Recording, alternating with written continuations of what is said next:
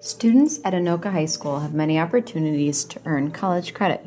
However, these students are typically our highest achievers. We hope to increase these opportunities for all students. Introducing Bridge to College at Anoka High School. Anoka is partnering with St. Cloud State University and Anoka Ramsey Community College to create a concurrent enrollment course grid that aligns with the Minnesota Transfer Curriculum.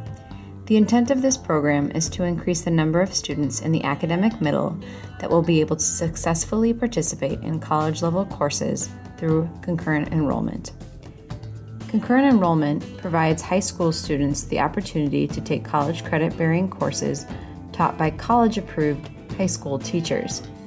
Students gain exposure to the academic challenges of college while in their supportive high school environment, earning transcripted college credit the time they successfully pass the course. The middle population of students is a group often underrepresented in and ill prepared for these types of courses.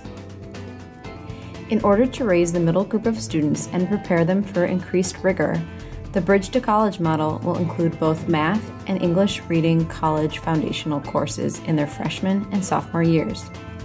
These integrated courses will develop a foundation for success by focusing on study skills, reading strategies, organizational techniques, and more. A ninth grade math foundational course will begin during the 2014 2015 school year at Anoka only. All Anoka High School ninth grade students performing at grade level will take this three trimester math college foundation course as the standard ninth grade intermediate algebra course. A 10th grade English Foundation course will begin during the 2015 2016 school year at Anoka. All Anoka High, Stu- High, School 10th grade students performing at grade level will take this three trimester English College Foundation course as the standard 10th grade English course. Currently, any student who would like to participate in concurrent enrollment courses must meet criteria set by the colleges, such as class rank, GPA, ACT score, and or an AccuPlacer test score.